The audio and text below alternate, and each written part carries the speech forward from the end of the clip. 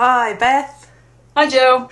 Can you talk us through quickly the changes that have been made to the budget line options recently that you can select when you're setting up a new project page on Akvo RSR? Sure, I'd be happy to. Uh, first, I'm going to share my screen with you.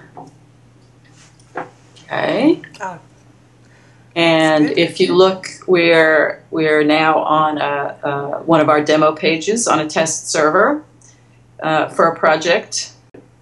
Looks like a little star island there. yep. And I'm going to go to the funding details page, which is where we store the budget for this project.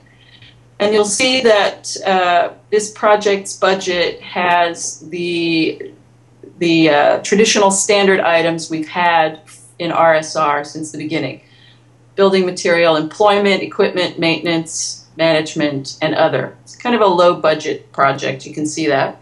Yep. Uh, so one of the things that we discovered people wanted uh, or needed was the ability to add their specific budget line items uh, specific to their project, some custom line items. So what we've done over here, if I take you into the admin for this project, you'll see here are the budget items. And if I go down to where the other category is, the other item, you'll see there's now a text box. And this text box uh, allows us to enter uh, a custom label that will appear on the project page. So let's say our island um, also needs some grass seed. So I'm just going to enter grass seed, and uh, that's our one euro item. It's not very expensive. And if I drop down here and save that, and I go back over here to project page and refresh it, there our other has now become grass seed at one euro. there it is. Wow. And we found that people had the need for more than just one of these specific items. So if I come back over here and scroll back down, we're in the admin again, uh, and drop down the list, you'll see that there are three other items available for people to choose and add custom labels to. So if we're going to have grass on that island, you're also going to need lawnmowers to cut the grass Oh, absolutely. and those are a little pricey. So we'll we'll say those are ten euros for those lawnmowers. Yeah. And go back and save that.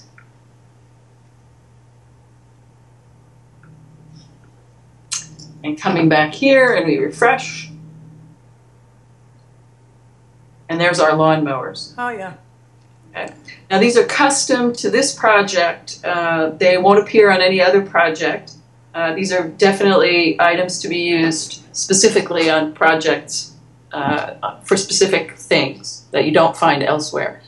We also added um, some new standard items. If I go back here, we found a lot of people uh, also had line items for training and transportation.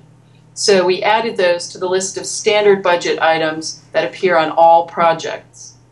Um, if we get enough demand, the partner team will be looking at other common items that show up on budgets, and that this list will get a little bit longer as we find uh, enough projects using them to warrant adding them. Okay. But there's going to be a limit, as I understand it, to, to how many new budget line items we want to add. Can you can you explain a little bit about that? Yeah, well, actually, we want to keep that list. Uh, we want to keep that list fairly, fairly small because you want to be able to make meaningful comparisons between projects and programs. And if we have a multiplicity, if we end up with a hundred different possibilities, then that lessens the ability to to compare uh, projects across budgets. So we want to keep that list very controlled. Sure. So basically, what we've got is more flexibility, but still something that is uh, meaningful when you make comparisons between projects and programs. Exactly. You got it. That's great. Thanks very much, Beth. Okay, you're welcome. Bye. Bye bye.